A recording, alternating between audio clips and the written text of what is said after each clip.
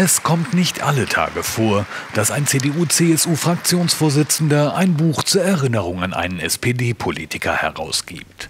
Volker Kauder möchte damit das Angedenken an Peter Struck hochhalten.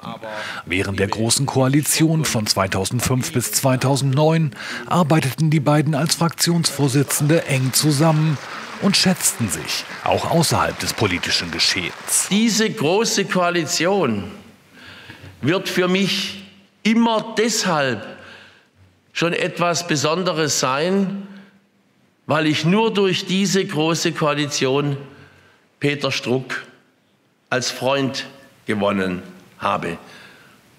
Ein Freund, der bereits 2012 gestorben ist. Bei der Buchvorstellung in der Friedrich-Ebert-Stiftung bedankt sich Volker Kauder bei den mitwirkenden namhaften Autoren. Sie beschreiben in einzelnen Aufsätzen die Entwicklung des Deutschen Bundestages, seine Wahrnehmung in der Öffentlichkeit und die Rolle der Fraktionsvorsitzenden Struck und Kauder, deren Zusammenarbeit außergewöhnlich vertrauensvoll und offen gewesen ist. Ich habe schon hin und wieder gespürt, äh, äh, dass er ähm, besondere Diskussionen mit den Frauen hatte. Dann hat er mal zu mir gesagt, das, was bei dir die CSU ist, sind bei mir die Frauen. Also die haben ihm manchmal schon Dampf gemacht. Wahrscheinlich war da Andrea Nahles auch mit von der Partie. Peter Struck wäre am 24. Januar 75 Jahre alt geworden.